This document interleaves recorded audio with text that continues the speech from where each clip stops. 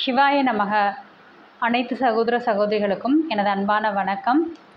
நான் ஜோதிடர் எஸ்கே வாணி சுந்தர்ராஜன் இந்த பதிவில் நம்ம எதை பற்றி பார்க்க போகிறோம் அப்படின்னு பார்த்திங்கன்னா குரு பகவானுடைய வக்ர பயிற்சி பலன்கள் பற்றி தான் பார்க்க போகிறோம் குரு பகவான் ரிஷப ராசியில் தற்பொழுது சஞ்சாரம் செய்து கொண்டுள்ளார். இந்த ரிஷப ராசியிலேயே வக்ரகதி அடைவார். ரோஹிணி கார்த்திகை இந்த நட்சத்திர பாதங்களில் குரு பகவான் வக்ரகதி அடைந்து அதன் பின்னர் பிப்ரவரி நான்காம் தேதி நேர்கதி அடைவார். அக்டோபர் ஒன்பதாம் தேதி ஆரம்பிக்கும் இந்த வக்ர பயிற்சியானது ரெண்டாயிரத்தி இருபத்தி ஐந்து பிப்ரவரி மாதம் நான்காம் தேதி வரைக்கும் நீடிக்கும். இந்த நான்கு மாதங்கள் குரு பகவான் வக்ர நிலையிலிருந்து ஸோ பன்னிரெண்டு ராசிகளுக்கும் எந்த விதமான மாற்றங்களை தரப்போகின்றார் அப்படின்றத பற்றி தான் பார்க்க போகிறோம் பொதுவாகவே இந்த கோச்சார பலன்களை எடுத்துக்கிட்டோம் அப்படின்னா ஸோ இருபது சதவீதத்திலிருந்து முப்பது சதவீதம் வரைக்கும் தான் ஸோ இந்த பலன்களை நீங்கள் எடுத்துக்கலாம். அதுவும் இந்த கோச்சார பலன்கள் வேலை செய்யணும் அப்படின்னா உங்களுடைய தசாபுக்திகளின் அடிப்படையில் தான் வேலை செய்யும். அதுவும் இல்லாமல் கோச்சாரத்தில் வருகின்ற இப்போது சனி வக்ரமாக இருக்கிறது அதே மாதிரி குரு வக்ரமாக இருக்கின்ற நிலை எல்லாமே உங்களுடைய ஜனனகால ஜாதகத்தில் குருவோ சனியோ வக்ரமடைந்த நிலையில் இருக்கக்குள்ள ஒரு நல்ல மாற்றங்கள் அப்படின்றது இருக்கும். ஸோ இவங்களுக்கு தான் பார்த்திங்கன்னா சில மாற்றங்கள் அதிரடியாக நடக்கக்கூடிய விஷயமாக இருக்கும். அப்போ வந்து நீங்கள் ஜனனகால ஜாதகத்தை வந்து ஒப்பிட்டு பார்த்துக்கோங்க உங்களுக்கு அதே மாதிரி குரு புக்தி நடக்குதா அப்படின்றதையும் நீங்கள் செக் பண்ணிக்கோங்க. குரு தசையோ குரு புக்தியோ நடக்குதா அப்படின்றத செக் பண்ணிக்கிட்டு இந்த குரு வக்ரமாக இருந்தது அப்படின்னா சட்டுன்னு சில மாற்றங்களை வந்து நீங்கள் எதிர்பார்க்கலாம். இது எல்லாமே உங்களுடைய ஜனனகால ஜாதகத்தின் அடிப்படையில் மட்டுமே இந்த கோச்சார கிரகங்கள் அப்படின்றது வேலை செய்யும். மேஷ ராசி நேயர்களை பொறுத்த வரைக்கும் உங்களுக்கு இந்த இரண்டாம் பாவத்தில் தான் குரு பகவான் வக்ரம் அடைகின்றார் ஸோ இந்த இரண்டாம் பாவம் அப்படின்றது பார்த்தீங்கன்னா தன குடும்ப வாக்குஸ்தானம். இந்த இரண்டாம் இடத்தில் குரு பகவான் வக்ரம் அடைகிறதுனால கொஞ்சம் நிதானமான ஒரு பேச்சை நீங்கள் வந்து கையாள வேண்டும். ஸோ தேவையற்ற ஒரு வாக்குறுதிகளை கொடுக்கறது அதே மாதிரி அக்கம் பக்கம் போய் தேவையற்று பேசுகிறது ஆஃபீஸில் தேவையில்லாத ஒரு விஷயங்களில் மூக்க நுழைக்கிறது இதெல்லாமே வந்து நீங்கள் கரெக்ட் பண்ணிக்கணும். பொருளாதார விஷயத்த விஷயங்களில் கொஞ்சம் கவனமாக இருக்கணும். இந்த திடீர் செலவுகள் அப்படின்ற ஒரு விஷயம் ஏற்படக்கூடிய வாய்ப்புகள் உண்டு. ஃபேமிலி மெம்பர்ஸை கொஞ்சம் வந்து அட்ஜஸ்ட் பண்ணி போகக்கூடிய விஷயங்கள்லாம் இருக்கும். பணம் கொடுக்கல் வாங்கலாக இருக்கட்டும் ஒரு வாக்குறுதிகள் நீங்கள் கொடுக்கறதா இருக்கட்டும் இதில் எல்லாமே கொஞ்சம் நீங்கள் நிதானமாக இருக்கணும். பள்ளி மாணவர்களை எடுத்துக்கிட்டோம் அப்படின்னா இந்த ஆரம்ப கல்வி படிக்கக்கூடிய மாணவர்களுக்கு இந்த நான்கு மாதம் அப்படின்றது சற்று ஒரு மந்த நிலை அப்படின்ற ஒரு விஷயத்தை வந்து ஏற்படுத்தும். ரிஷபராசி நேயர்களை எடுத்துக்கிட்டோம் அப்படின்னா ஸோ குரு வந்து உங்களுடைய ராசியிலேயே வக்ரம் அடைகிறார். ஸோ ராசியில் வக்ரம் அடைகின்ற இந்த குரு பகவான் பார்த்திங்கன்னா திடீர் மாற்றங்களையும் திடீர் வெற்றி வாய்ப்புகளையும் ஏற்படுத்துவார். அதே மாதிரி திடீர் பயணங்களை ஏற்படுத்தக்கூடிய விஷயம் இருக்கும். ஸோ ரொம்ப நாளாக நிறைய பேர் அந்த வெளிநாட்டு முயற்சிகளை மேற்கொண்டு இருப்பீங்க. ஃபாரின்க்கு போகிறதுக்காக ட்ரை பண்ணி அதில் ஏதாவது ஒரு சில தடைகள் ஏற்பட்டவர்களுக்கு திடீர்னு நடக்கக்கூடிய வாய்ப்புகளும் இருக்குது ஸோ அதனால் ஒரு திடீர் பயணங்கள் மேற்கொள்ளக்கூடிய விஷயம்.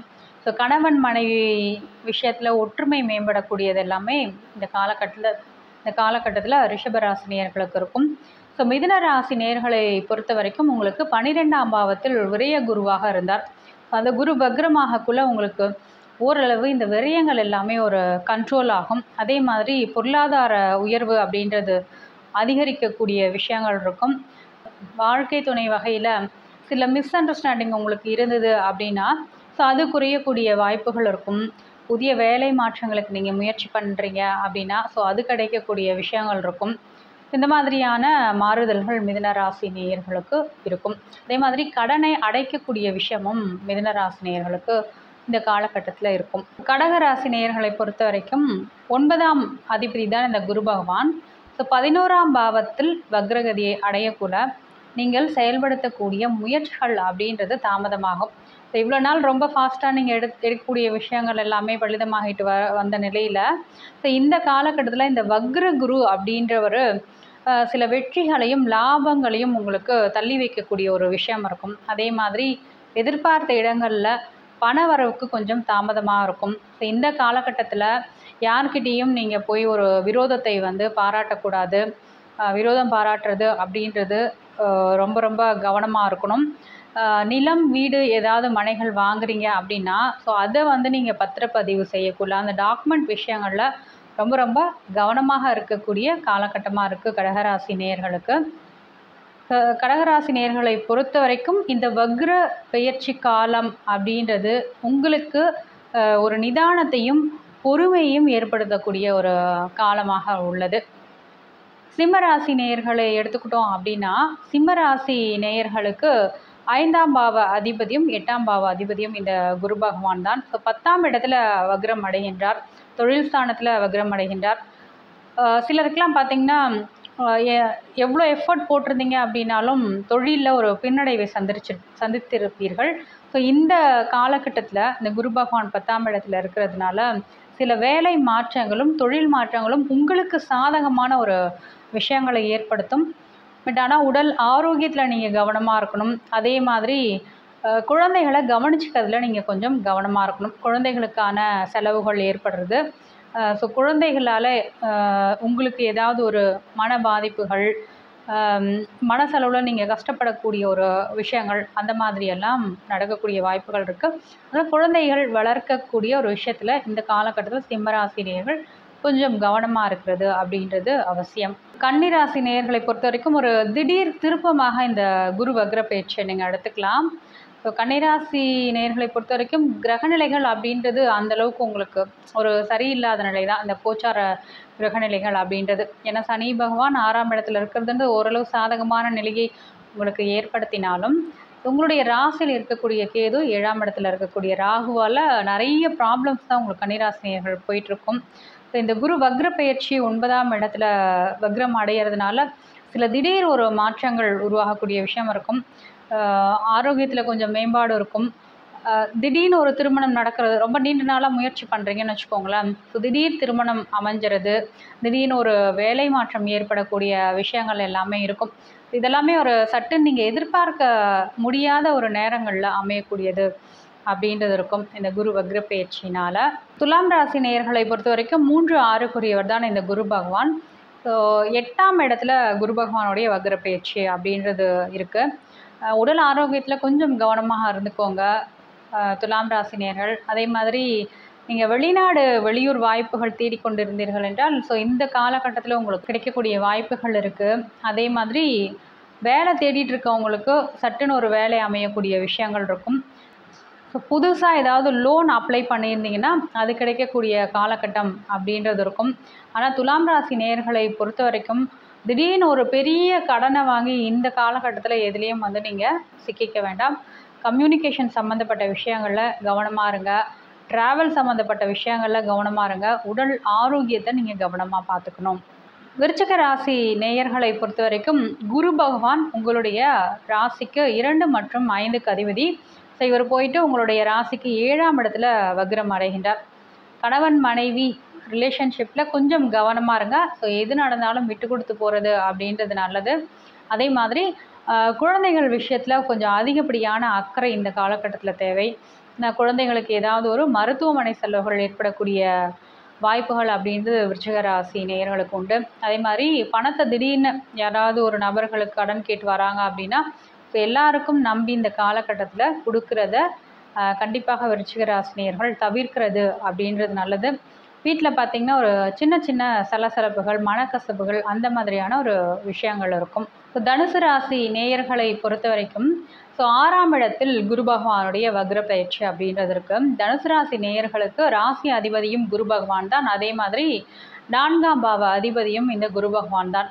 ஸோ ஆறாம் இடத்தில் குரு பகவானுடைய வக்ர பயிற்சி அப்படின்றது நீண்ட நாட்களாக உங்களுக்கு ஏதாவது நோய் பிரச்சனைகள் இருந்தால் ஸோ அதற்குரிய ஒரு ட்ரீட்மெண்ட்டு தெரியாமல் இருந்தது அப்படின்னா இந்த காலகட்டத்தில் அதற்குரிய ஒரு சிகிச்சை முறைகள் வந்து உங்களுக்கு கொடுக்கப்படும். ஸோ உடல் ஆரோக்கியம் சம்மந்தப்பட்ட விஷயங்கள் மேம்படும்.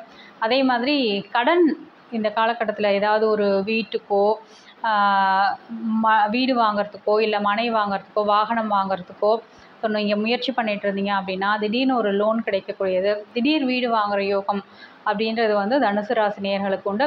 ஆனால் ஒரு தெளிவான டிசிஷன் எடுக்க முடியாத நிலையில் இந்த தனுசு ராசி இந்த சமயத்தில் இருப்பீங்க. ஏன்னா உங்களுடைய ராசி அதிபதியான குரு பகவானே வக்ரமாகிறதுனால மனசில் ஒரு பெரிய குழப்பங்கள் அப்படின்றது வந்து இருக்கும். ஸோ அடுத்து பார்த்தீங்கன்னா மகர ராசி நேர்கள் மகர ராசி நேர்களை பொறுத்த வரைக்கும் உங்களுடைய ராசிக்கு பன்னிரெண்டு மூன்று கூடியவர் தான் இந்த குரு பகவான். ஐந்தாம் இடத்துல போயிட்டு வக்ரம் அப்படின்ற நிலையை அடைகிறார். ஸோ குழந்தைகள் குழந்தைகள் விஷயத்தில் ரொம்ப ரொம்ப மகர ராசி நேர்கள் வந்து கவனமாக இருக்க வேண்டிய காலகட்டம். ஏன்னா அந்த ஐந்தாம் பாவத்தில் குரு வக்ரம் அப்படின்ற நிலையை அடையிறதுனால கொஞ்சம் குழந்தைங்கள கவனமாக பார்த்துக்கணும். கர்ப்பிணி பெண்களும் வந்து கவனமாக இருக்கக்கூடிய காலகட்டமாக இருக்குது இந்த குரு பயிற்சி காலத்தில் ஸோ குரு வக்ர பயிற்சி காலத்தில் அதே மாதிரி தேவையற்ற விஷயங்களை யோசிக்கிறது தேவையற்ற கடன்களை வாங்குறது ஸோ இதில் இது எல்லாத்துலேயுமே வந்து மகர ராசினியர்கள் இந்த காலகட்டத்தில் குறைச்சிக்கிறது அப்படின்றது நல்லது. சிலருக்கு பார்த்திங்கன்னா அடிக்கடி ஒரு வயிற்று வயிறு சம்பந்தமான பிரச்சனைகள் வயிற்று வலி அஜீரண கோளாறுகள் ஏற்படக்கூடிய விஷயங்கள் இதெல்லாமே இருக்கும்.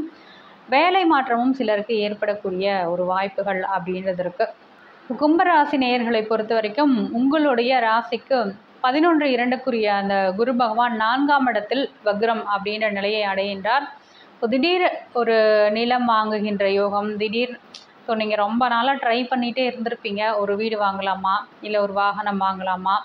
ஏதாவது ட்ரை பண்ணிகிட்டே இருந்திருப்பீங்க. ஸோ அமையாது தள்ளி தள்ளி போயிருக்கும். இந்த காலகட்டத்தில் உங்களுக்கு திடீர்னு ஒரு வாகனம் வாங்குகின்ற யோகம் வீடு வாங்குகின்ற யோகம். சிலருக்கு பார்த்திங்கன்னா வீடு மாறக்கூடிய ஒரு விஷயங்கள் எல்லாமே இந்த காலகட்டத்தில் இருக்கும். பொருளாதார வளர்ச்சியை பொறுத்த வரைக்கும் கும்பராசி நேயர்களுக்கு நல்லாயிருக்கும் அதே தொழிலில் ஒரு பின்னடைவை சந்திச்சிருந்தீங்க அப்படின்னா ஸோ இந்த காலகட்டத்தில் தொழில் முன்னேற்றம் அப்படின்றது ஏற்படக்கூடிய வாய்ப்புகள் உண்டு கும்பராசி நேர்களுக்கு ஸோ அடுத்தது மீனராசி நேயர்களை பொறுத்த வரைக்கும் உங்களுக்கு ராசி அதிபதியே பார்த்திங்கன்னா குரு பகவான் தான். அதே மாதிரி பத்தாம் இடத்துக்கு அதிபதியும் இந்த குரு பகவான் தான். ஸோ மூன்றாம் இடத்துல இதுவரைக்கும் மறைந்திருந்து உங்களுக்கு நேர்கதியில் பலனை கொடுத்து கொண்டிருந்தார். ஸோ இப்போ வந்து குரு பகவான் பக்ரம் அப்படின்றது ஓரளவு மீன ராசி நேயர்களுக்கு நல்ல நிலை தான் சிலர் எல்லாமே வந்து நகையை வந்து அடமானம் வச்சுருப்பீங்க ஒரு சிலர் எல்லாம் ஸோ அதையே மீட் அதை வந்து மீட்கக்கூடிய ஒரு வாய்ப்புகள் அப்படின்றது இருக்கும். முயற்சிகளில் சிலருக்கு தொய்வடைந்த நிலையெல்லாம் இருந்திருக்கும். ஒரு முயற்சிகள் மேற்கொண்டிருப்பீங்க. ஸோ அதில் வந்து இழுபறியான நிலையெல்லாம் சந்தித்த மீனராசி நேர்களுக்கு இந்த காலகட்டம் அப்படின்றது ஓரளவு முன்னேற்றகரமான காலகட்டமாக இருக்கும். அதே மாதிரி தொழில் வகையில் முதலீடுகள் அதிகரிக்கிறது. தொழில் வகையில் லாபம் அதிகரிக்கக்கூடிய காலகட்டம் எல்லாமே மீனராசி நேர்களுக்கு இந்த சமயத்தில் உண்டு. இன்னொரு விஷயம் என்ன அப்படின்னு பார்த்தீங்கன்னா ஸோ குரு பெயர்ச்சி குரு வக்ரத்தை மட்டும் வைத்து உங்களுடைய பலனை நீங்கள் முடிவு பண்ணிடாதீங்க. ஜஸ்ட்டு இது கோச்சாரத்தில் ஒரே ஒரு கிரகம் ஏற்படுத்துகின்ற ஒரு விஷயம்தான். ஸோ இது வந்து பொது பலன்கள் மட்டும்தான். எல்லாமே ஸோ உங்களுக்கு ஒரு விஷயம் நடக்குது அப்படின்னா ஒன்பது கிரகங்களும் இணைந்தால்தான் உங்களுக்கு ஒரு பலன் அப்படின்றது வந்து இருக்கும். அனைவருக்கும் நன்றி.